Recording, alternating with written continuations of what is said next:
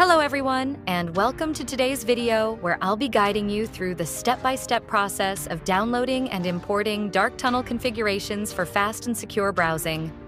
Whether you're new to Dark Tunnel VPN or just looking for a detailed guide to set up custom configurations, you've come to the right place. Make sure to stick around until the end of the video, and don't forget to like, share, and subscribe for more helpful content. Let's jump right into it. First, you'll need to open any browser on your device and type UDP Custom into the search bar. Hit enter, and from the list of results, locate and tap on the official UDP Custom website. This is where we'll begin the configuration process.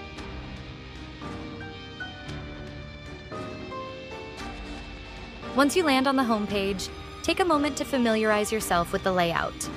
When you're ready, Look at the top right corner of the page and click on the hamburger icon. This will open a list of menus. From there, locate and click on the SlowDNS Config label. Afterward, you'll see a submenu. Click on Dark Tunnel Config to start creating your custom configuration. Next, you'll be directed to a new page with a list of available configuration files. Choose any file you'd like and click to download it. The file will automatically be saved to your device's Downloads folder. Wait just a few seconds for the download to complete. Now that you have the configuration file, it's time to import it into Dark Tunnel VPN. Head back to your device's home screen and open the Play Store. Search for Dark Tunnel VPN and install the app. This should only take a few minutes, depending on your internet speed.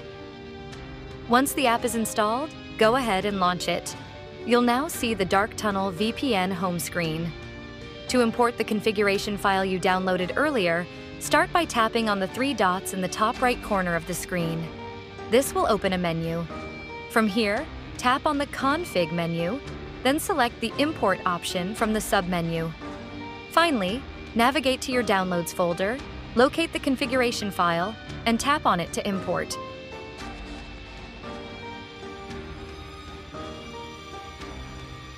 With the file successfully imported, all that's left to do is tap on the Connect button to start your VPN connection. Your browsing will now be secure and fast, thanks to the custom Dark Tunnel configuration. That's it for today's tutorial. If you found this video helpful, please give it a thumbs up, share it with your friends, and hit that subscribe button for more tech tutorials. Don't forget to leave a comment if you have any questions or need further assistance. Thanks for watching, and I'll see you in the next one.